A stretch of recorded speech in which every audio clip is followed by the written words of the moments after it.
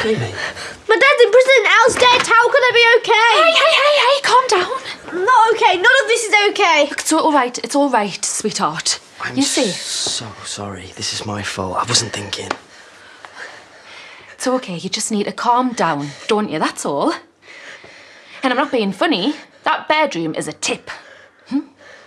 Don't let Moira see it. She'll think a bunch of wild chimps have moved in. Go on, you go and sort that out. Because I'm not doing it and it's not going to sort itself. What were you thinking? I just, I didn't put two and two together. Well, you should have. You were supposed to be helping.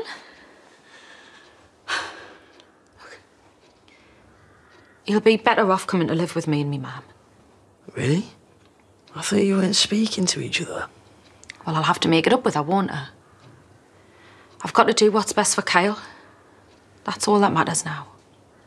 Well, okay. Be sure. Look, I'll give you a lift. A bit more support. No. uh, Look, sorry. Can you just give us some space? Okay. Whatever you need. I love you, you know. Well, who could blame you, really? I mean it.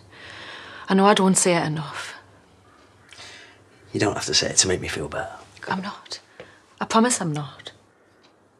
But you better believe us, because I'm not going to say it again.